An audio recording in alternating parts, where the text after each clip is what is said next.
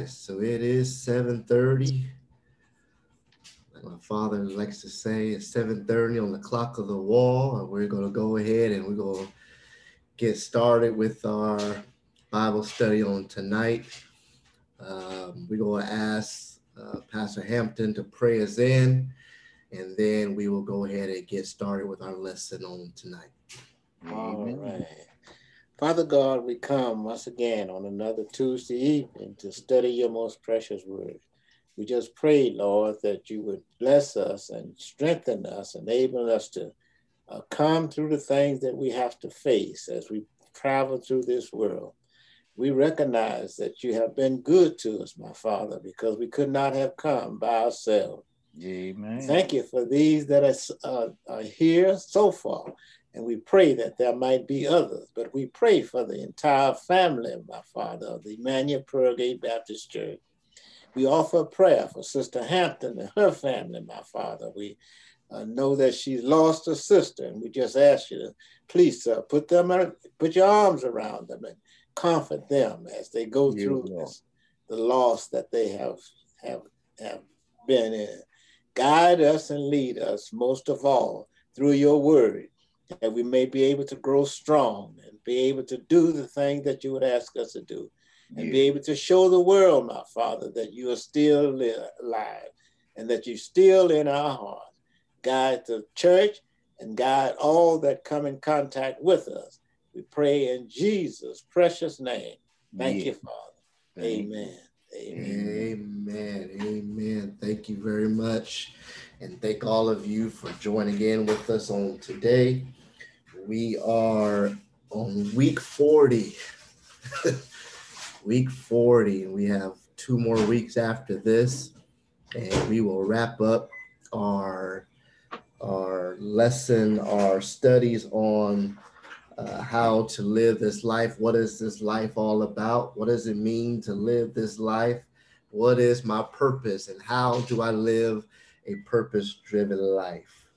And we on today, we're going to have a discussion on the simple fact of how to live a purpose driven life. We've gone through 39 weeks of discovering uh, why we are here, uh, what it is that we are supposed to do, what it is that we have been created to do. Uh, why is it that we are created in the ways that we are created? Why God made us the way that He made us, uh, the purpose of what God has made us for. And we are going to tie all of that in uh, tonight. And we're going to discover uh, how do we actually live a purpose driven life. Uh, we are uh, so glad that God loved us so much uh, that He He made us specifically uh, so that we can serve Him, we can love Him, we can live for Him, and we can uh, do all the things that He has done to us and through us. Uh, we serve a mighty God who loved us enough that he gave us the tools, he gave us the power, he gave us the, the ability and the opportunity uh, to not only share his love to the world, but to be an ambassador for him, to be an example to the world of not just how we ought to live, but be an example to the world to show the world that Jesus Christ is alive, Jesus Christ is our Lord and Savior, and that Jesus Christ is love. So, living a purpose driven life, um, one of the greatest examples uh, of our human journey in life, people can say, is King David. Uh, King David wasn't a perfect man. King David, he had his many flaws, he had his many faults. Uh, King David, we know, had many wives. He committed adultery. He committed murder. And he did all kinds of things. But God still stated David was a man after his own heart. Mm-hmm. And the reason why God stated that was because David had a heart to serve God. And it says in Acts 13 and 36, it says, For David served the purpose of God in his own generation. And that is what we've been called to do to serve the purpose of God in our own generation. It, it is important for us to be able to not only to live this life in a certain way, but to leave this life in a certain way that we can we can leave a mark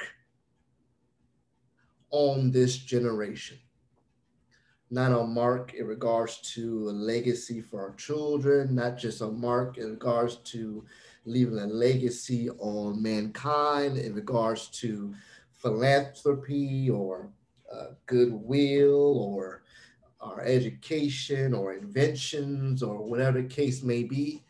But we must also leave a mark on this generation in regards to building the kingdom of God leading others to Christ so that they can give their lives over to Him, so that they can experience the love of God, so they too will be able to have a testimony to somebody else that God is love, Jesus is real, and He is, in fact, Lord and Savior of our lives. Through these last 39 weeks, we've really discovered uh, what our purposes in life really are. Uh, we were planned for God's pleasure. We were formed for God's family. We were created to become like Christ. We were shaped and formed to serve God. And we were made for a mission. And because we know of these things, we know what our purpose in life is because we were planned for God's purpose, our purpose is to worship him. And we we studied and we discovered that worshiping God is simply knowing God, loving God. Okay? If we know who God is, if we love God in every single aspect of our lives, that is worship because we were formed for God's family, our purpose is to belong. We are to belong uh, together to, to uh, form a bond, a relationship, not just with God, but with each other. And that's mostly done through our relationship with our brothers and sisters in Christ in church. Because we were created to become like Christ, our purpose is to grow in Christ. Every single day of our lives, we ought to grow closer and closer to God. Every single day of our lives, we ought to grow to become more and more and more like Christ.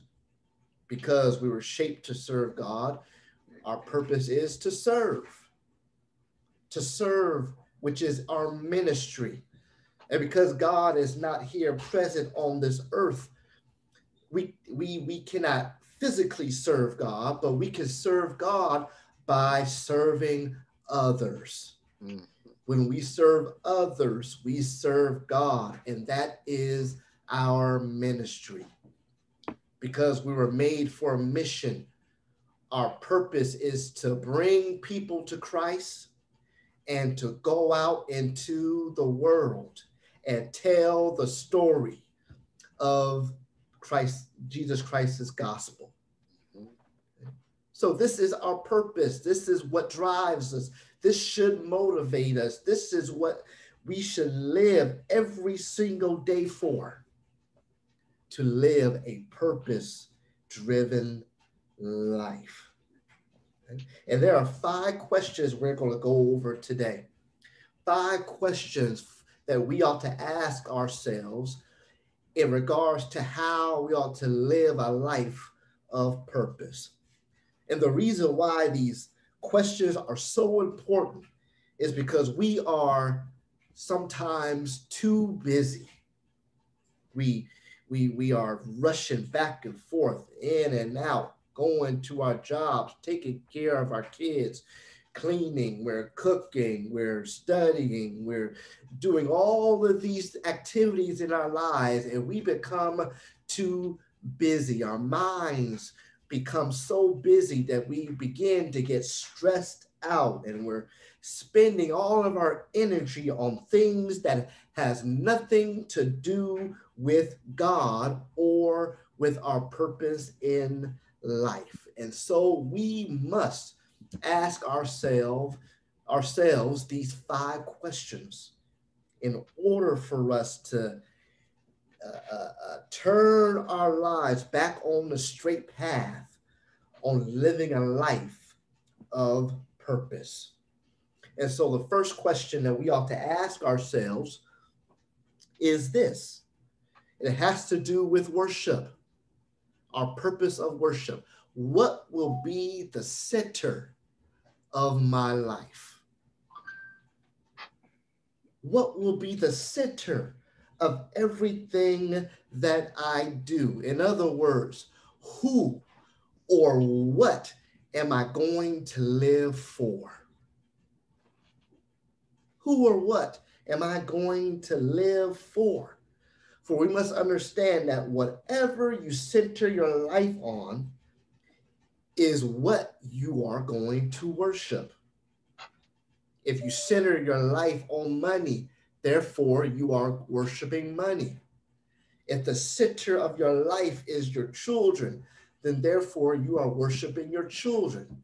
If the center of your life is your uh, your social status or your career, then you are worshiping social status or your career whatever you think about the most yeah. is the center of your life. I know when I was a teenager, all the way up to my, I would say my early mid 20s, the only thing I thought about, only thing I thought about was as soon as I woke up in the morning until I went to bed at night, and even sometimes while I was asleep, I was dreaming about it. The only thing I thought about was football. Football was the center of my life. Therefore, in those years, I worshiped football. I even I even slept in bed with football in my arms. I worshiped football. And then after football was over with, in certain years of my life, what I thought about was females. I worshiped females. So, whatever you're thinking about mostly in your day, that is what you are worshiping. So, therefore, we ought to ask ourselves what is it that we are thinking about for most of our day. What is the center of my life? Whatever is at the center of your life is therefore the glue of your life. Your whole life depends on your center. And I know a lot of us, we love to we have these we have infatuations we have love or respect and we think a lot about our family or we're thinking about our spouses or we're thinking about our children or we think about our families we think about our careers or we think about uh, our hobbies like golf or painting or whatever your love may be. Those are good things because those are gifts that are given to us by God, but they should not be the center of our lives. Because as soon as something goes wrong with the center of our life, our whole life breaks apart. If your career is the center of your life and you lose your job, your whole life falls apart. If your child is the center of your life and for some god awful reason your child dies, your whole life falls apart. If for some reason your your your, your spouse is the center of your life and your spouse turns out and turns around and walks out on you, your whole life is going to fall apart. If money is the center of your life and you and somehow you lose your money and you can't pay your bills, your whole life is going to fall apart. What I'm trying to say is there's only one thing that you can never lose in your life, and that is your relationship with God.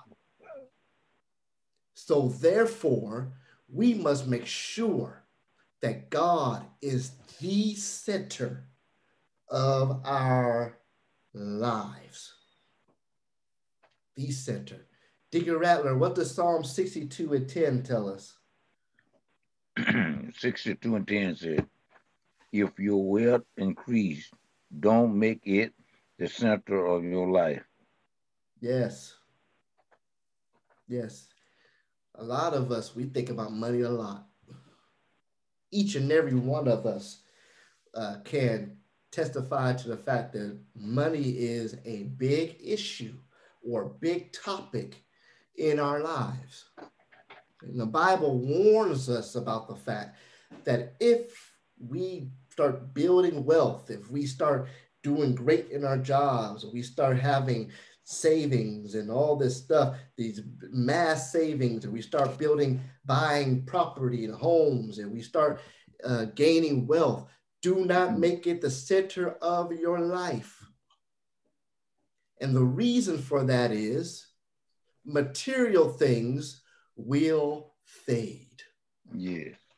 We cannot take wealth with us. We cannot take material things with us. They will fade. And if we make them the center of your life, once again, your life will crumble. I don't know if too many people know this about me, but uh, uh, when when I was uh, what was it? I think it was 21 or somehow like that. When I first began to get the calling, no, I was 20.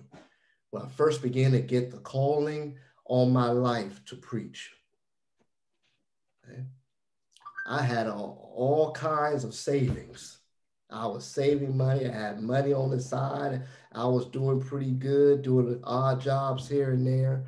I was pretty decent from doing pretty decent for myself. But as soon as I heard the first call, and I decided not to answer, and I heard the second call, and I decided not to answer. Those savings, the money that I had saved, started to dwindle. And I started to sink into a little bit of depression. I didn't know what was going wrong with my life. I didn't know what was happening because I was putting the, the pride of me saving the money was above the calling that God was giving me.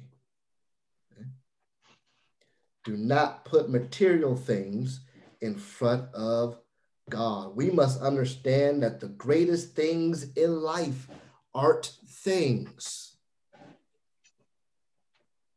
The greatest things in life aren't things. The greatest thing in life should be our relationship with God. This life that we're living in is preparation for our true home, which is in heaven. Remember, we are just visitors here. This land, this world, this earth, this is not our home. We are, we just been sit here by God as ambassadors to be representatives of Him, to be representatives of what heaven is going to be like. Okay? So, therefore, we should uh, uh, make sure that the larger your your core is, it should and it should have nothing but God in it. Because the larger your core becomes, the less the things, other things your life become. The stress, the worry, the anxiety, all those things will shrink as, as God, as your core, strengthens. Jesus should not be a piece of your pie. You know, a lot of people uh, they illustrate their lives as pieces of the pie. I have my family is a piece, my career is a piece, uh, my hobby is a piece, my uh, and then we put God as a piece. My my church life is a piece. My relationship with God is a piece. My children is a piece. That we and we say, well, that's the pie of my life.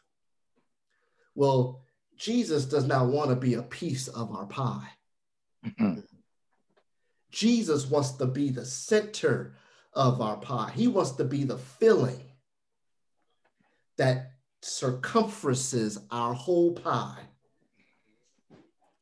If our family is a piece of our pie, then Jesus should be the filling that helps our family life. If our career is a piece of a pie, Jesus should be the filling of that piece that helps us with our career, and so forth and so on. We must make sure that we keep Jesus as the center of our lives. Okay.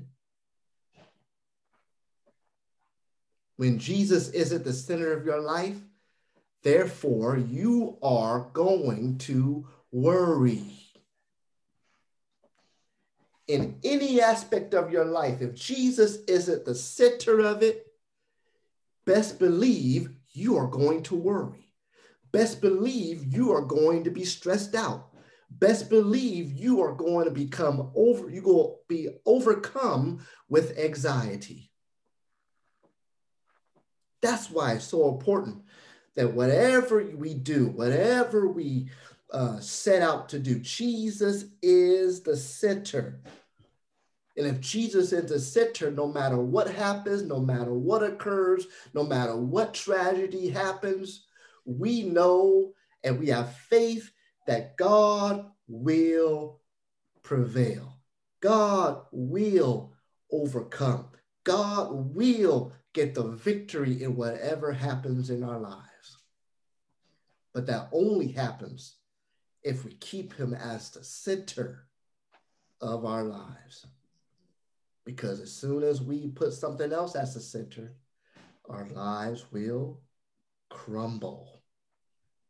They will crumble and we will worry, we will stress, we will have anxiety. Sister Leola, what does uh, 2 Corinthians 5 and 14 tell us? Instead of worrying, pray. It's wonderful mm-hmm. what happens when mm-hmm. Christ displaces worry at the mm-hmm. center of your life. Yes, okay, that's Philippians 4, and 6, and 7. Instead of worrying, pray. It's wonderful what happens when Christ displaces worry at the center of your life. Dr. Davis, what does the scripture above that say? 2 Corinthians 5.14. Christ's love has the first and last word in everything we do.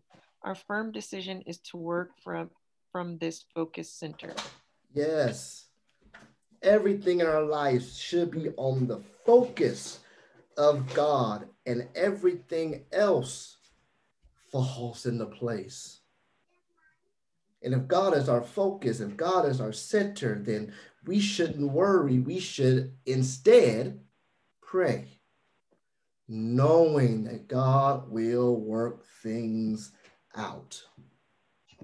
So, therefore, if we know that we our purpose in life is to worship, And if we know that we must keep God as the center of our life, we should ask ourselves this question Are we going to be self centered or are we going to be God centered? In every single day of our lives, are we going to be self centered or are we going to be God centered? Are we going to let our opinions, our uh, our thoughts rely on our own strength when we go through certain situations and circumstances in life, or are we going to sink our feet in the firm ground of Jesus Christ? Okay. So that's the first question. First question is the worship. What will be the center of my life? The second question has to do with fellowship, our purpose of fellowship. And the question is, what will be my community? Mm-hmm. What will be my community? God did not intend for us to go through life alone. Amen. He intended for us to go through life in a community, to be part of a body, to be a part of his family. And just like uh, a part of a body cannot survive uh, detached from the rest of the body, it's the same as a child of God. A child of God cannot survive without being attached to God's family, which is the church. God formed us, He made us, He created us for us to go through life with the body of Christ. Why? Because we need uh, encouragement. Why? Because we need to see examples of how people have overcome some of their darkest moments in life. Why? Because when we fall into a, a, a, a sense of rut or we fall by the wayside, we need people around us that can put our arms around us and pull us back into the forefront, pull us back into the love of God and show us that we need to walk this straight and narrow path. Without community, we are as good as done. Good as done. Reverend Pope, what does Galatians 6 and 10 tell us?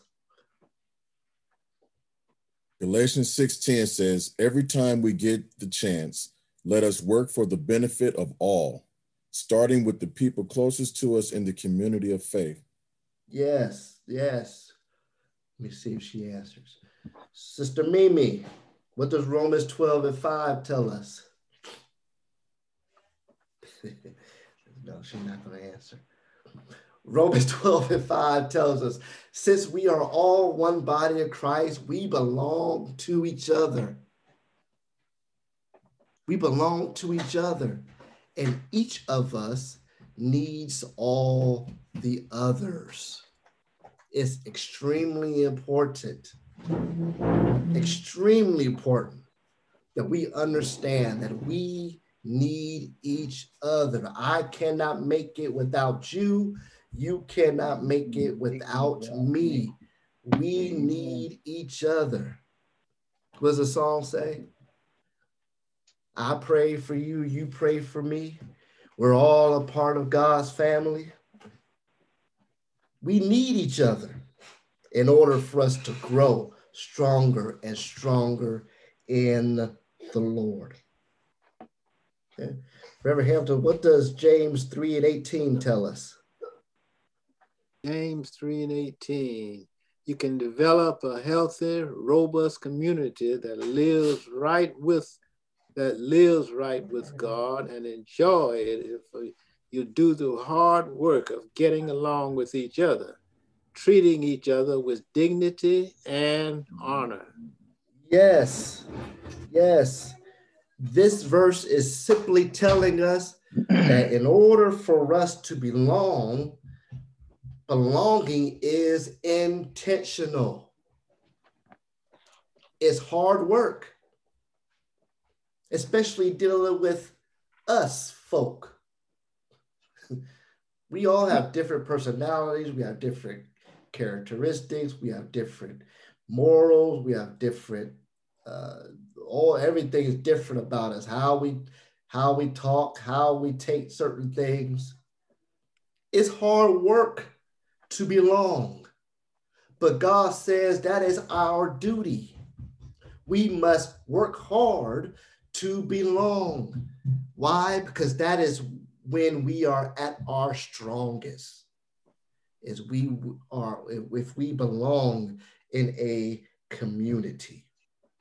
So, therefore, we must ask ourselves this question Are we going to be a spectator or are we going to be a participator? Are we going to just sit on the sidelines? Are we just going to sit in the stands and watch while the game is being played? Or are we going to tug on the coach's uh, coattail and say, Coach, I'm ready to come in and play? That is something we ought to ask each, each ourselves each and every day. Am I going to be a spectator or am I going to be a participator? Am I going to just go to church or go to virtual church and just listen and just take in what I can take in and that's it? Or am I going to have a desire to participate? Am I going to have a desire to do something that that will strengthen the ministry? Am I going to have a desire to do something that will help the church reach other people's lives? Is there am I going to be a participator to the point where I am going to be a vital part to the body of Christ? So, in regards to our purpose of fellowship, what will be my community? And then, in regards to our purpose of growth, the question is what will be the character of my life? What will be the character of my life? God is not concerned about our careers he is not concerned about our comforts, but God is concerned about our characters. God couldn't care less if you are a president of the company. Mm-hmm. God couldn't care less if you have all kinds of material things around you and you are living lavishly. But what God really cares about is our character. How will people see us when they are around us? What will they think about us when they are around us? More importantly, will they see Him in us when they are around us? Okay. How is our character? Deacon Rattler, what does Romans 8 and 29 tell us? Romans 8 and 29 says, Far from the very beginning, God decided that those who came to him should become like his son. Yes. God decided that we should become like his son. Okay. God decided this. It wasn't our decision. Yes, we had to make the choice to uh, uh, for Christ to come into our lives. Yes, we had to make the choice to accept the gift of salvation. Yes, we had to accept the choice uh, for us to uh, accept the love of God and what He has done for us. But God decided that we should become like his son. Therefore, we don't have a choice. We have been mandated by God to become like his son. Each and every day of our lives, we ought to work hard to become like his son. And I know it's not easy. Every single day, we are on this war path between carnal and spiritual and fighting every single day for the direction of our lives. But I pray that nine out of 10 times, 9.5 out of 10 times, our spiritual overcomes our carnality. And every single day we become more and more and more like Christ. What does it mean to become like Christ? If God decided that we are to become like him, what does that mean? Sister Leola, what does Philippians 2 and 5 tell us? In your lives, you must think and act like Christ Jesus. Yes. So to become like Christ, we must think and act like Christ. Amen. It's pretty simple. Christ came, He gave us the blueprint, He gave us the example. So, therefore, every single day of our lives, we must think and we must act like Christ. But then the question becomes how do I know how to think and act like Christ? Mm-hmm. Well, we must know these things through reading the Word of God. It is the thoughts and it is the actions of Christ. That's all, that's all the Bible is. The Bible is the breathed Word of God. And it tells us how God thinks, how God acts. It, the Bible tells us how Christ thinks and how Christ acts. From Genesis all the way to Revelations, every single word that's in the Bible tells us how Christ thinks and how Christ acts. So, therefore, we ought to follow that blueprint. we are like trees. Trees are uh, created to grow. They're created to grow. And from those trees, it, it, trees produce fruit. And the fruit that is grown from those trees comes from the very character of that tree. Apples grow from an apple tree. Mm. Oranges grow from an orange tree. Lemons grow from a lemon tree. Okay. The fruit that comes, that, that bears on that tree, matches the character of the tree. We are to be the fruits of Christ. So therefore, we ought to produce the characters of Christ. And just like uh, trees grow, trees grow from food, water, and fertilizer. We also should grow from food, water, and fertilizer. What is our food and water? Food and water is the Word of God. Well, then, if food and water is the word of God, then what is our fertilizer?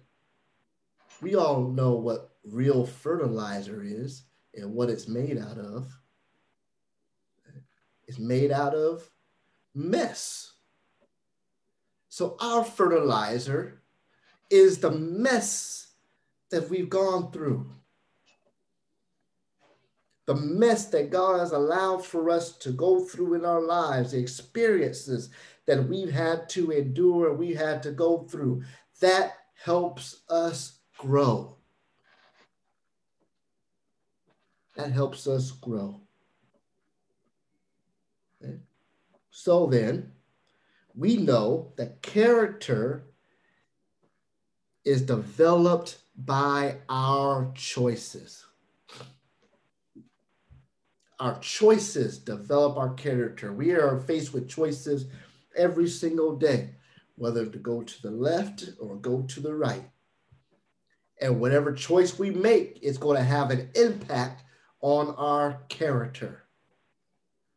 We must always do our very best to make the correct choice because it will develop our character or it will destroy our character. Okay? So, therefore, we must start building our character right now, no matter where you are in your life, no matter what age you are, no matter how long you've been going to church. Our character depends on our choices, and we must start building it right now. It doesn't matter if you think you have the highest pedigree of character, you still must build on that character. Because if your character was 100% where it's supposed to be, God would have taken you home already. So, therefore, we must develop, we must build on our character, and it starts right now. Deacon Love, what does Second Peter 1 5 through 7 tell us? Don't lose a minute in building on what you've been given. Complement your basic faith with good character, spiritual understanding, alert discipline, passionate patience, reverent wonder, warm friendliness, and gen- generous love. Yes. What is that? What does that list out like? The fruits of the spirit. Where does the fruits of the spirit come from?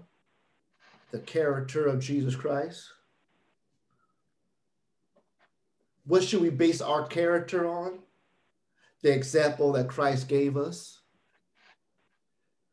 So we must jump on the opportunity, jump on building our character based on the example that Christ gave us. So the question we should ask ourselves every single day, are we going to live based on comfort or are we going to live based on character? Are we just going to say, I'm comfortable, I'm good, I got what I need, I got what I want? I'm just going to live the rest of my life out and I'm just going to I'm just going to live the life. Or are we going to work hard every single day and declare I'm going to develop my character so I can be more and more and more like Christ? The fourth question that we should ask in order for us to live a life of purpose has to do with our purpose of ministry. The question is what will be the con- contribution of my life?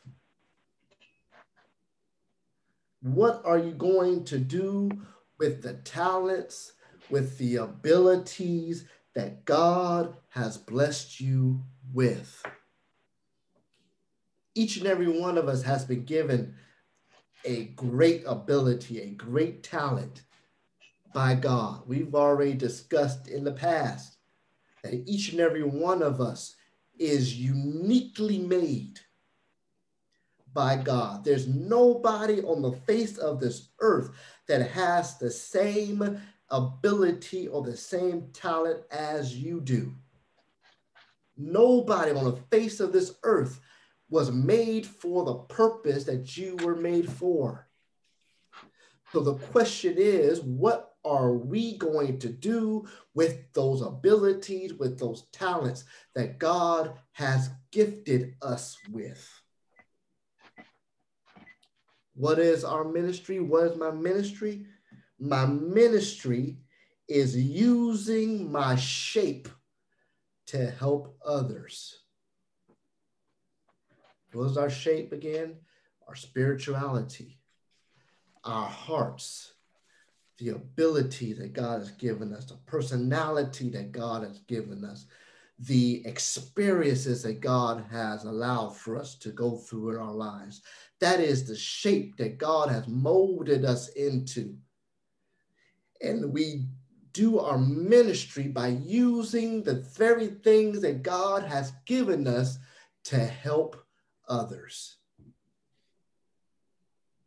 Remember what our ministry is. We cannot serve God tangibly here on earth, but we serve God by serving others.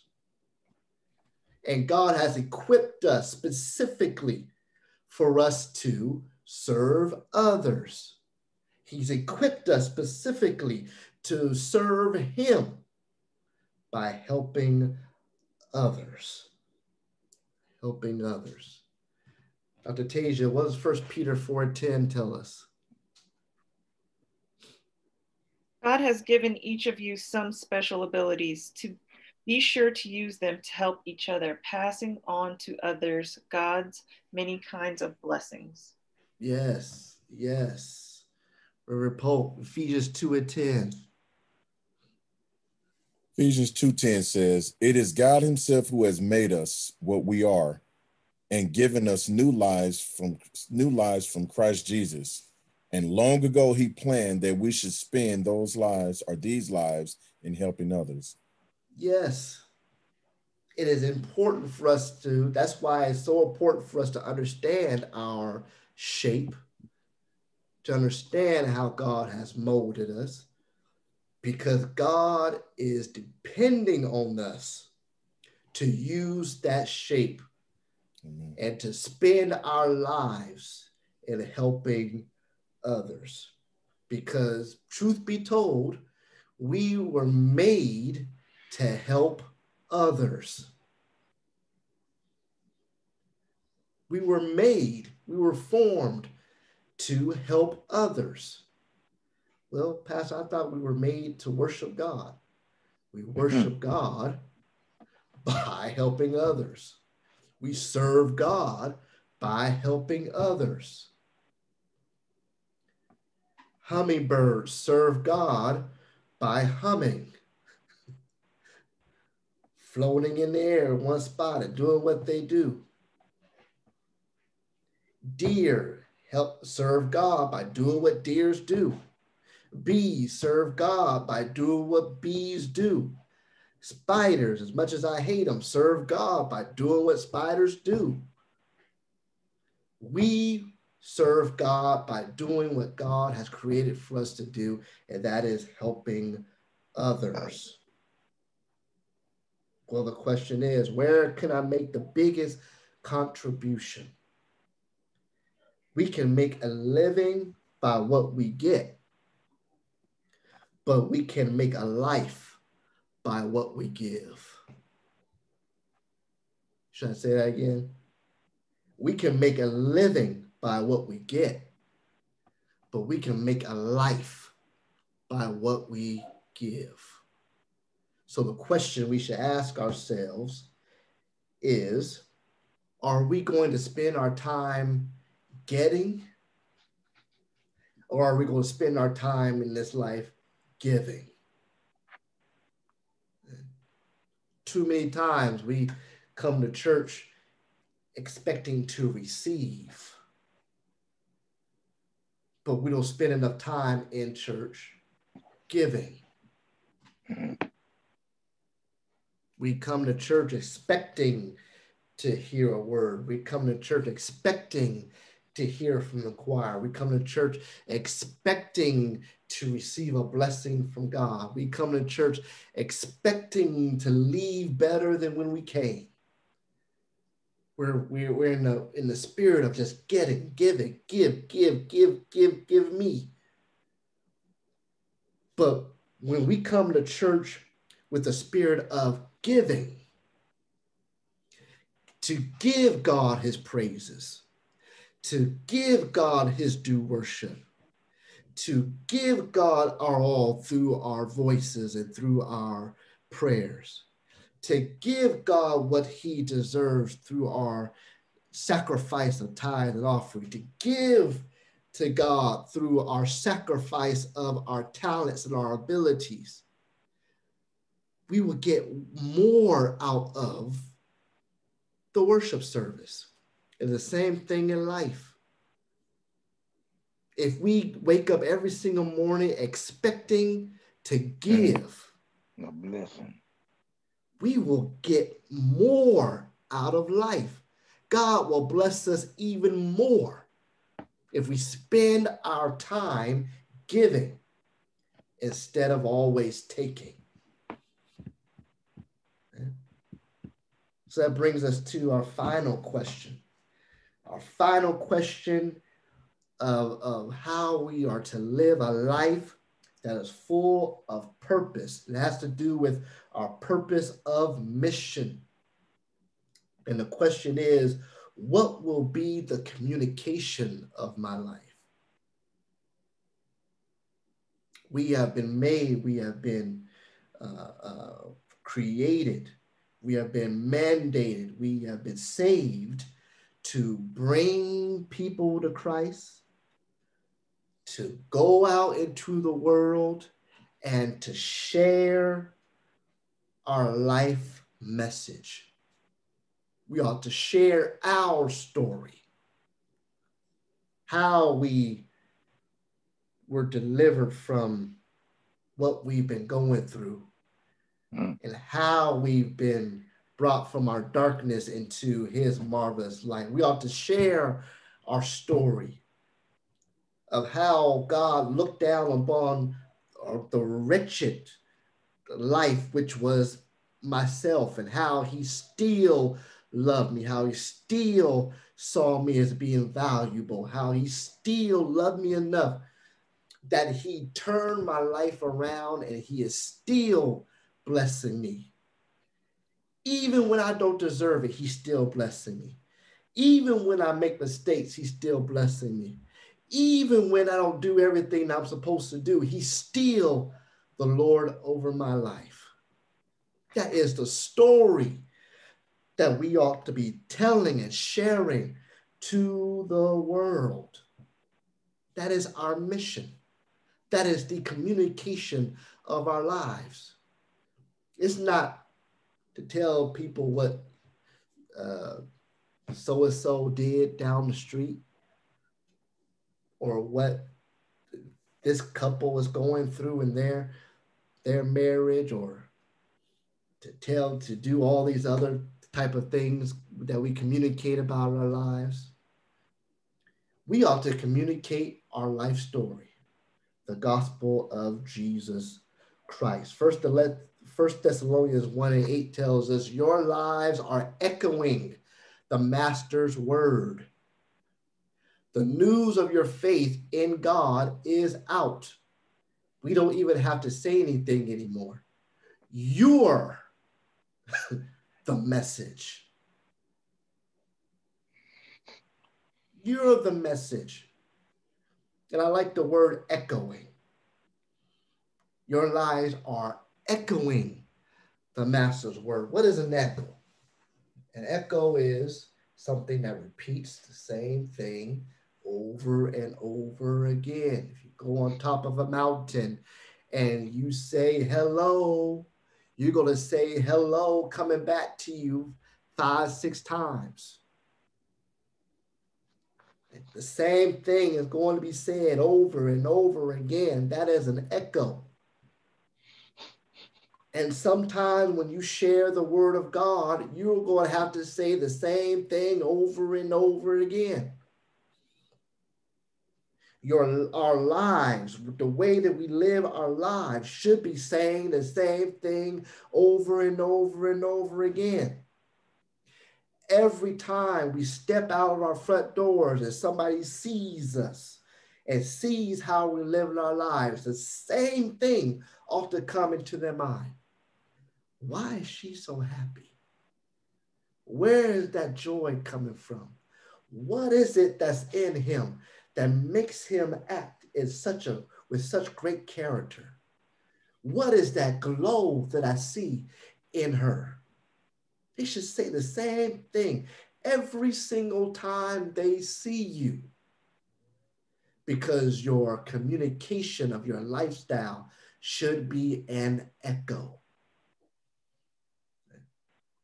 That's why I like the name, the Echoes of Emanuel, which I mm-hmm. love to change to the mighty voices of the Echoes of Emanuel, because they sing the same message every single time they stand up to sing.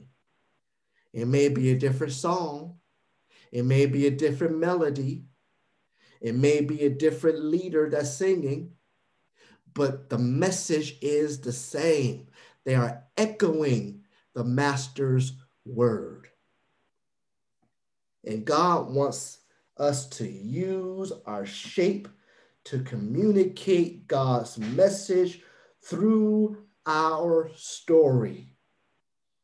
Because, truth be told, actions speak louder than words. I can stand at the pulpit and I can I can preach all through all of my suits and my shirts and whatever I decide to wear. I can sweat up a storm. I can become hoarse and I can faint and fall out and do whatever. But if my life doesn't show when I preach, that's all for naught. You can have the fanciest dresses, you can wear your, you can hold your Bibles, you can have your nose up in the air, you can have the fanciest church hat. It doesn't matter if your life doesn't match. Action speaks louder than words. Philippians 1 and 27 says, Live in such a way that you are a credit to the message of Christ. That you are a credit to the message of Christ. Have we asked ourselves, Am I being a credit to the message of Christ? Is how I live in my life, is it a positive? Am I adding on to the message of Christ? Am I showing the message of Christ? Or am I a damnation to the message of Christ by how I live? Acts 20 and 24 says, Life is worth nothing unless I use it for doing the work assigned to me by the Lord Jesus. The work of telling others the good news about God's mighty kindness and love. Our life is worthless if we're not doing what God has created for us to do. So, therefore, these five questions should always be in the front of our minds every single time we wake up. Am I worshiping Him? Am I keeping God the center of my life? Am I in fellowship? Am I a part? Am I belonging to the community of God? Am I growing? Is my character, is the character of my life getting better and better? Am I fulfilling the ministry that God has for me? Am I contributing to the ministry in my life? And am I fulfilling the mission that God had for my life? Is the communication of my life giving credit to the message of Christ?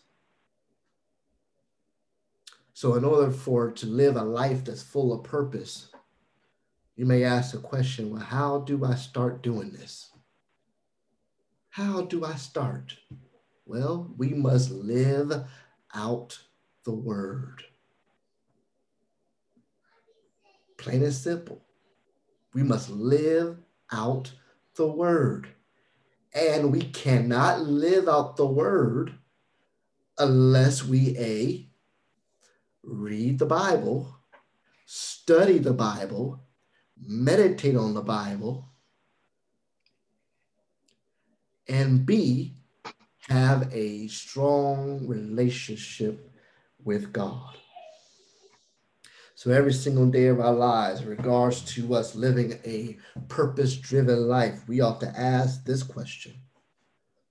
Every single day of my life, am I promoting myself or am I sharing Christ? That will tell you if you're living a purpose driven life. Am I promoting myself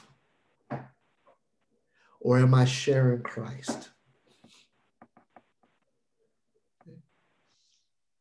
God has given us this chance, this opportunity in our lives to do what He has called for us to do.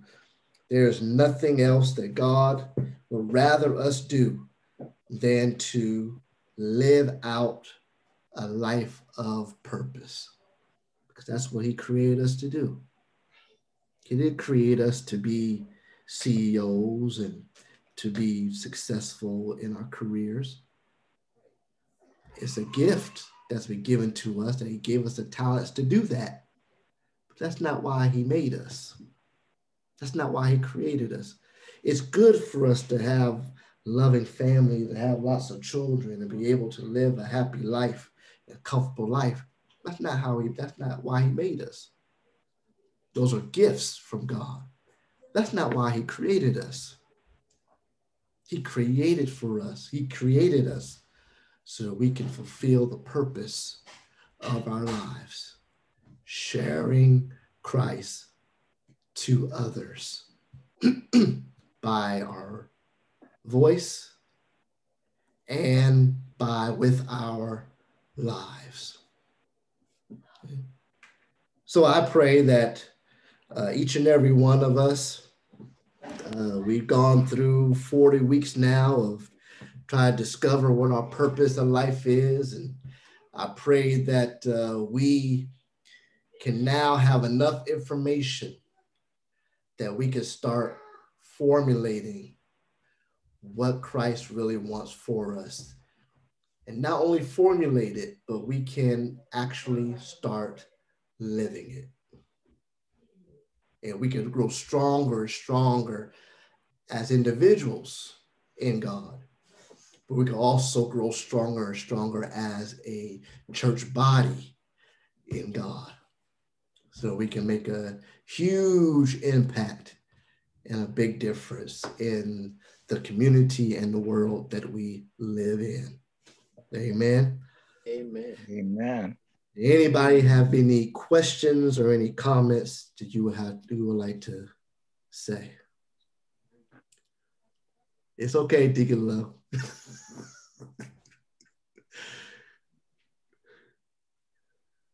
no? All right. God bless each and every one of you. I'm so glad that you're able to come on on tonight we can share together, we can grow together. Uh, I pray that all is well with each and every one of you and that God is continuing blessing you. Uh, we're going to be dismissed with the prayer. Let us pray for each other. Let's pray for our church family. Let's pray for all those who are still dealing with this COVID uh, pandemic. Uh, let's pray for my mother and her family. She lost her sister. And uh, let's pray for each other that we can grow stronger in the Lord. We're going to ask uh, Deacon Love to pray us out on tonight. Heavenly Father, we thank you for all that you have done uh, for us, and we uh, thank you for all that you have done to us. Uh, we know, Heavenly Father, that this is a journey that does not take uh, just a few steps. It's a journey that takes an eternity. We thank you, oh Heavenly Father, for standing with us and leading and guiding us. Uh, Lord, it's not that we didn't know which way to turn, we did not know which way to go. Uh, we thank you, oh Heavenly Father, for loving us. Uh, oftentimes, it's difficult for us to love ourselves. Uh, it's difficult, oh Heavenly Father, to live up to the expectations not only that you have for us, but uh, the expectations that this world has for us is often uh, too difficult to bear. Uh, we thank you for the strength that you have provided so that we can continue to do the things that you've asked us to do. We thank you, oh Heavenly Father, for surrounding us uh, with loving hearts and spirits that uh, support us when we can't support ourselves. Uh, Father, this evening I pray for those who have suffered loss and uh, who have suffered sickness and uh, who has suffered, oh Heavenly Father, just um, uh, unease about the things that are going on. Uh, I know, Heavenly Father, that everything is in your hands. There's very little that uh, we can do to change our fate or uh, this life journey. Uh, I thank you, Heavenly Father, for being there when no one else is there. Uh, in the early morning or the late night when we're going through that valley of the shadow of death. When, oh Heavenly Father, we're seeking your face, your word, your comforting spirit and heart. We thank you for uh, continuing to return to us with blessings and uh, hope. Uh, we ask that you continue to watch over our church, watch over the congregation, watch over all of those whom we love, watch over those, oh Heavenly Father, that may not be near, but still are not outside of our care. We thank you, oh Heavenly Father, for just everything uh, that is good in our lives. Continue to bless us, continue to be with us, continue uh, to strengthen all of us this day and forever. These things we ask in the name of your Son, my Savior, Jesus Christ, and for his sake, uh, we pray. Amen. Amen. Amen. Amen. God bless each and every one of you and pray that God continues to keep you and shine his light upon you. Have a great evening, and I'll see you on Sunday morning. God Amen. bless you. Bless the pastor. Bless you. Uh, Pastor, Pastor, and uh,